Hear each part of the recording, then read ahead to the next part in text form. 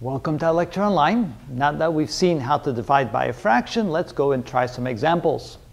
The first one is 9 fifteenths divided by 3 fifths. And again, the rule is when you divide by a fraction, it's the same as multiplying by its inverse. So this becomes 9 over 15 multiplied times the inverse of 3 fifths is 5 over 3. All you do is simply flip the fraction around.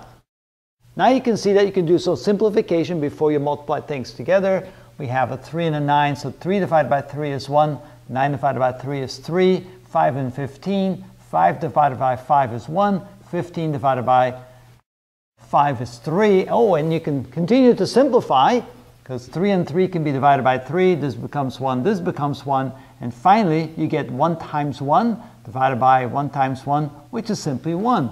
So 9 fifteenths divided by 3 fifths is equal to 1. Let's try this one here. Again, dividing by a fraction, same as multiplying by its inverse. 3 fourths multiplied times 24 over 9. And again, before you multiply the numerators together and the denominators together, you want to simplify as much as you can. 3 and 9 are both divisible by 3. So 3 divided by 3 is 1.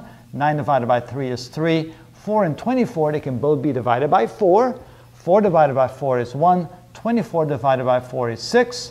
And now you can see 6 and 3, they can be both divided by 3. You can continue to simplify.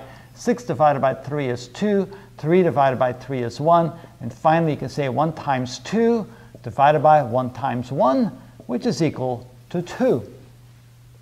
Let's try that one over there. So 1 7 divided by 3 to 3 11ths, that's the same as writing 1 over 7 times 11 over 3. Here we cannot simplify anything. We simply continue by multiplying the numerators together. 1 times 11 divided by 7 times 3, which is 21. And the answer is 11 21sts, or 11 21s. Is that how you say it? Not quite sure. Anyway, 2 thirds divided by 6. Think of it as being a fraction. Think of this as being 2 thirds divided by 6 over 1. You can always take an integer and divide it by 1 and nothing changes because 6 divided by 1 is still 6. Now you're going to multiply by its inverse. This then becomes 2 thirds times 1 over 6. Now you see that the 2 and the 6, they have something in common. 2 can be divided by 2 to become 1. 6 can be divided by 2 to become 3. Now you work out the multiplication. 1 times 1 is equal to 1, and 3 times 3 is equal to 9. The answer is 1 ninth. 2 thirds divided by 6, therefore, is equal to 1 ninth. So it's pretty simple. Whenever you have to divide by a fraction, you simply flip the fraction over, taking its inverse, and you multiply instead of divide, and you get the correct answer. And that's how it's done.